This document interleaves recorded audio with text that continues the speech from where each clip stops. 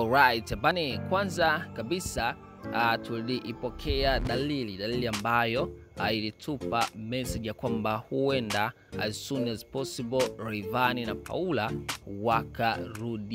wakarudiana. Yani kuna picha ambayo uh, Rayvanny alishare, yani alifanya kuriposti uh, picha kupitia katika ukurasa wake wa Instagram. Ni picha ambayo ilipostiwa uh, na Paula, yeye akaliposti kisha akawekea na emoji uh, za makopakopa, kitu ambacho watu wengi walikitafsiri na kusema kwamba huenda as soon as possible wawili hao watarejeana. Sasa baada ya tukio hilo kupita, uh, rasmi Rayvanny akaachia goma lake la Forever na baada ya hapo akaachia video ya goma hilo, na katika video hiyo uh, tukamshuhudia ama tunamshuhudia uh, Rayvanny akiwa na mzazi mwenza, yani hapa namzungumzia na baada ya video uh, zikaendelea posti mbalimbali za kimahaba kati ya hao watu wawili, kitu ambacho watu wengi walikitafsiri na kusema ya kwamba uh, huenda lile penzi ambalo lilikufa kwa muda mrefu uh, limefufuka. Ni posti ambazo uh, zinaonyesha Rayvanny na Fivan wakiwa katika mahaba mazito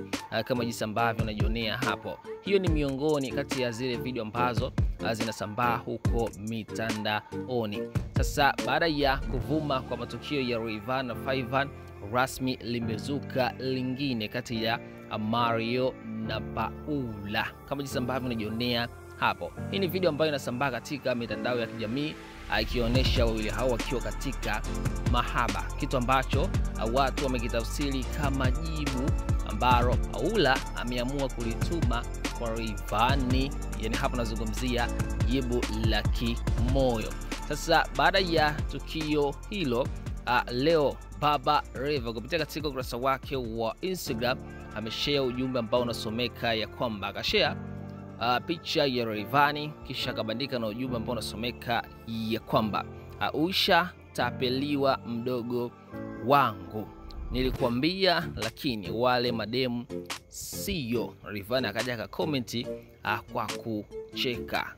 Sasa ujumbe huu hapa au wa B Level Bar watu wameukonekti na matukio ambayo nimetoka kukuelezea hapo. Watu wamedai na kusema ya kwamba hapo B Level Bar alikuwa anawazungumzia mademo mademu ambao wanajulikana kama uh, wakina Tim Kajala. Hapa namzungumzia Kajala, lakini pia na mtoto wake. Yani hapa uh, B Level Bar watu wamedai na kusema kwamba huenda kuna kitu kakificha ambacho Rayvanny alikuwa amekifanya uh, kwa Paula uh, lakini kimekuja kugeuka.